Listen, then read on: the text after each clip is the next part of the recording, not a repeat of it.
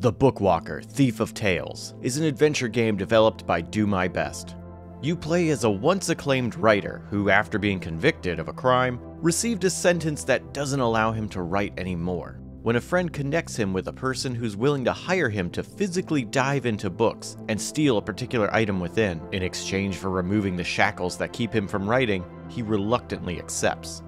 Each of the six levels has you diving into different books of varying genres to search for and retrieve a specific item. While they all have distinct visual styles, you approach each level the same, and they all play out similar. While the idea of jumping into different works of fiction, manipulating them, and stealing items to take back into the real world is fascinating, the game never delivers on the great concept. Characters are overly chatty but don't always dispense useful or engaging information. Choices are almost always pointless.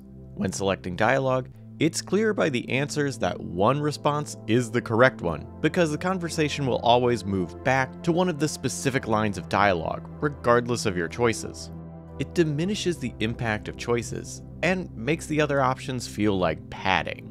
Gameplay outside of choices also feels lacking. For example, an incredible concept is that as a writer, you can use ink to alter parts of the story to suit you, such as unlocking a door. However, this usually amounts to nothing more than another option on a list. Another place where the story fails is not showing what happens when someone takes items and people from fictional worlds and brings them into the real world.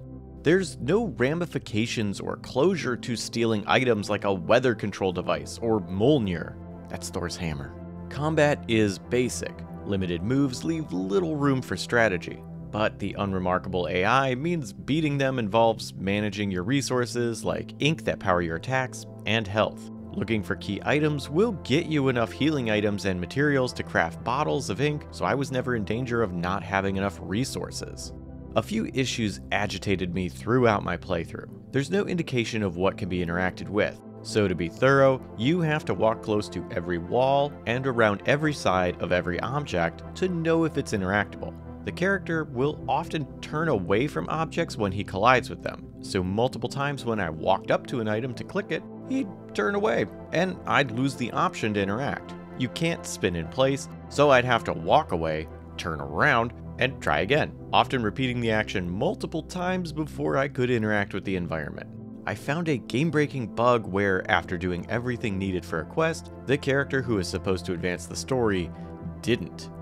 It led to me contacting the developers, confirming the issue, and having them give me a line of code in a save file to edit so I could progress. This issue is likely fixed by now. No matter how good the concept is, I found the Bookwalker to be unremarkable. The okay story, gameplay, and combat made it serviceable, but underwhelming. While not bad, it's not good enough to strongly recommend to anyone other than folks who love stories where the concept is bigger than the content, or folks who love adventure games and just want a new one. The Bookwalker Thief of Tales is available now for $14.99 on PC, PlayStation 4, PlayStation 5, Xbox One, and Xbox Series X and S.